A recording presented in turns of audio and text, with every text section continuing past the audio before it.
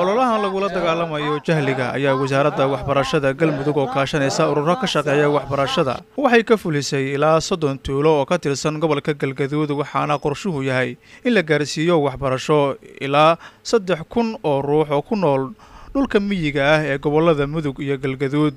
Ololahan la dagaalanka akhris qoris la'aanta deegaanadan ama galmudug gaar ahaan degmada cadaado waxaan bilownay horaantii bishii lixaad sanadka hadda sanadkan hadda lagu kow iraado ardayda ka faa'iidaysatay marka degmada cadaad laga hadlaayo adugu kun iyo laba boqol ayaan ku qiyaasaynaa markii galguduudna laga hadlana laba kun iyo shan boqol oo arday ayaa ka faa'iidaysatay oo isugu jira dad waaweyn oo oo macnaha waxbarashada ka daahay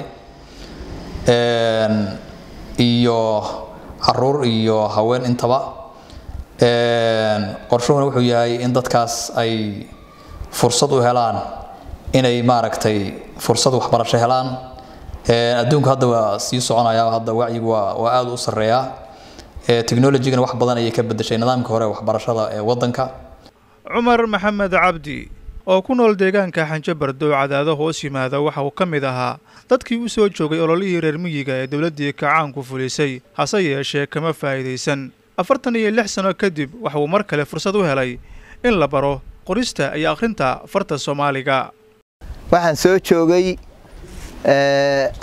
waagii toddobaatan iyo afartii dowladdii soomaaliya ololihii reer miyiga. Si fiicana dadkii wax fahmay si fiicanna waxbaa loo bartay anigu intii xoolaha raacataan ka mid ahaa kabacdi xilligan iyo xilligaas intaas hadda sanooyinkii ma hayo inta u dhexaysay hadda ma hayo waxaan malaynayaa inaan waagaas kabacdi inaysan dadka reer miyiga u suurogelin wax waxbarasho ay u suurogelin nidaam maysaan arag kala dambayn ma arag waxbarasho haddeer bay noo kow noo tahay haddeer baan maaragtay aan rabnaa inaan la jaan qaadno dad yowga waxbartay aan la jaan inaan ka qayb galno waxbarashada socota oo jirta oo waayaha kan annagu aan aan maaragtay ka dambaynay inaan ka qayb galno saasaan jecelna haddii ilaahay idmo.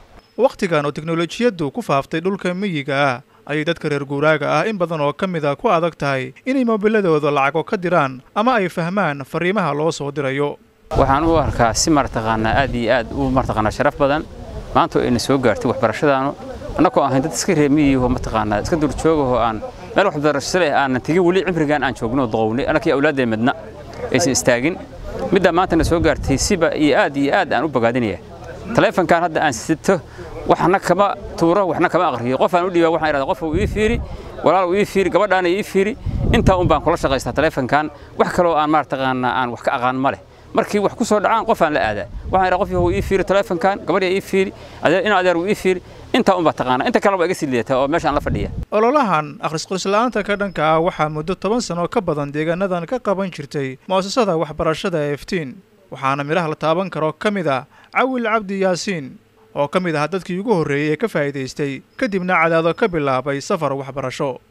Waxyaalihii aan ka faa'iiday waxaa ka mid ahaa ololahaas akhriska iyo qoraalka.